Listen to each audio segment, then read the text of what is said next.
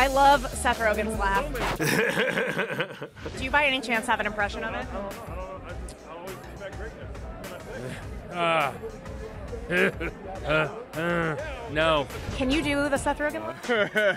I can't do it. I don't know. Can you do the Seth Rogen laugh? it's not a good one. I've heard better ones. We made this movie, and it's definitely something that people want to see. It's crazy that they let us make this movie. it's just like insane. Um, but it's going to be uh, a lot of fun, and I hope people really like it. Krumholtz, that was amazing. Thank you so much. It's not surprising that he has a derogatory, I assume, impression of me. Can you do a Seth Rogen laugh impression? Everybody's been doing it. I have the best Seth Rogen laugh.